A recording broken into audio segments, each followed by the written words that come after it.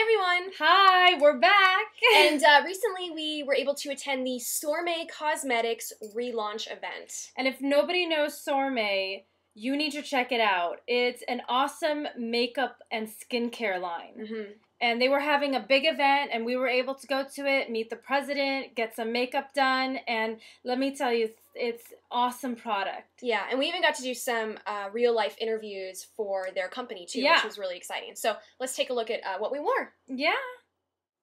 So here I am wearing a colorful halter dress. And I'm wearing a colorful halter dress also. Oh my god, that's so cool. Yeah, we both wore halters that day. I think halter is um, is definitely a certain style, and you know a lot of people can pull it off, and I think we did a, a pretty good job. And the colors are really bright too. Like Yeah, them. and we actually, it's funny because we match. I have some green in my dress too.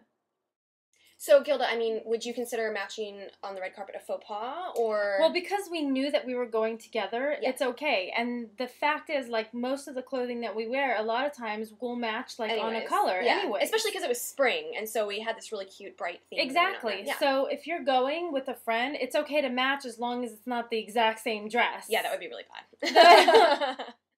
So here I am getting my makeup done, and let me tell you, it was it was great. Yeah, the makeup felt great, and um, I, I think it's like all natural. Yeah, and it's soft on your It's skin. very soft. hmm After we got our makeup done, we actually met the president, and so here he is, and we took pictures with him. Yeah, and he invited us to do some video interviews for his company.